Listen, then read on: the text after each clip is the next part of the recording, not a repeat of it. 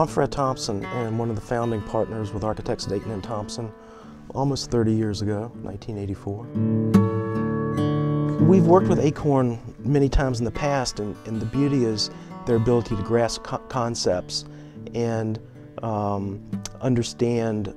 three-dimensionally what we're trying to achieve that it's just not a huge plaque but it's it's part and parcel of of the um, the, the architecture um, that we're trying to uh, bring to the uh, project. The, the, Millworks project was one of the most unique projects we've ever touched and um, rewarding in the sense we had a great client to work with and a great design team, uh, including the master planners as well as our own in-house architects. Um, the idea to carry that uh, stone uh, and, and brick and um, industrial uh, functional uh, solution uh, worked right down into the to, to the evolution of, of, the signage. The beauty for us working with Acorn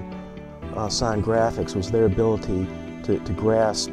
architecturally and symbolically what we were trying to achieve with our buildings, with our master plan, uh, both on phase one as well as throughout, and just not give us a, a plate, a location uh, placard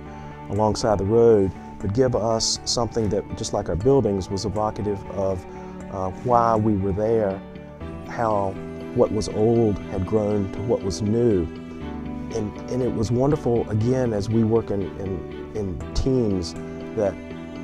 uh, Acorn brought their design team interfacing with the developer, with, with the owners, and with our designers um, to come up with, with a solution that um, satisfied all.